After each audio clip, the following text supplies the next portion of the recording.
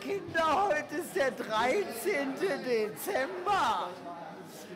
Und äh, hinter der Tür, äh, da haben wir von der Partei euch was mitgebracht. Das ist das Endlager.